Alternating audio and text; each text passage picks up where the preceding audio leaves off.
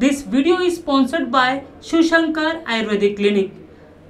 संगम नगर सुल्तान हिंद गरीब नवाज़ मस्जिद नज़दीक गटर लाइन भरने से उसमें से पानी रास्ते और परिसर के लोगों के घर में घुस रहा है। इतना ही नहीं, ये गंदा पानी मस्जिद में भी बह रहा है। इस एरिया में समस्याओं का ढेर लगा हुआ है। यहाँ के जनप्रतिनिधि गणेश कानतोड़े इब्राहिम खान, नसीमा बानो, गोपीचंद कुमरे और परसमल मानवतकर है। लेकिन चारों समस्याओं की तरफ़ ध्यान तक नहीं दे रहे। इन समस्याओं को लेकर राष्ट्रीय कांग्रेस के उत्तर नागपुर महासचिव बब्बू भाई अंसारी दौड़ भाग कर रहे हैं और इसकी शिकायत भी नगर सेवकों को देते हैं। तो उनकी बात को सुना नहीं जाता। ऐसे में हम क्या करें ऐसा सवाल परिसरवासी पूछ रहे हैं। अरे साले चारों नगर सेवक भंग की गोली खा के सोए हुए क्या? ये बीजेपी सरकार दस साल से आई है। ये लोगों के घर में पानी घुस रहा शर्म नहीं आती लोगों को। सारा गटर का पानी है ये पूरे गटर के पानी घरों में घुस रहे हैं। हमेशा उसके लिए आवाज़ उठा। चले जाते। बोले गटर लाइन आचार संहिता के पहले दूसरी डल जाएँगी करके गटर लाइन दूसरी डालने डाल नहीं रहे। बीस चैम्बर की बात की तो तीन तो चैम्बर बना के काम बंद करके रखे चारों तरफ़ भान करके रखे।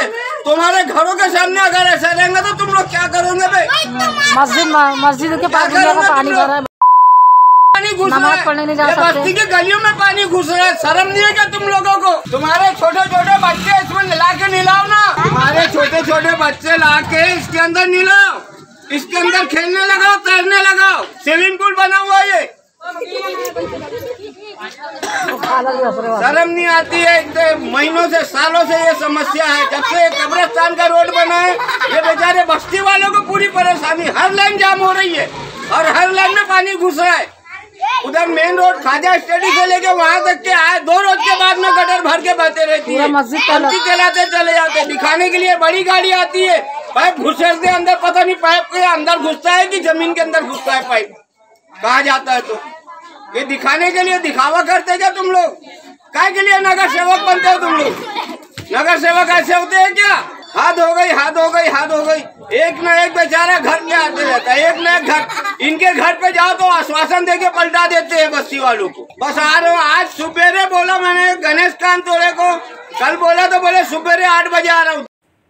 सुवर्ण अलंकारों से परिपूर्ण, सुंदर और आकर्षक डिज़ाइन से सजे।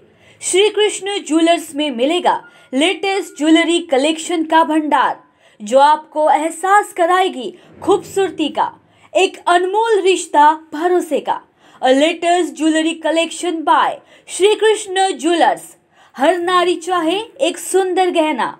सुंदर, लुभावने, मनमोहक गहनों के मिलने का एकमात्र स्थान Shri Krishna jewellers.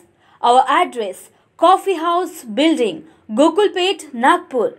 Contact us 9923446062 or 9373108414.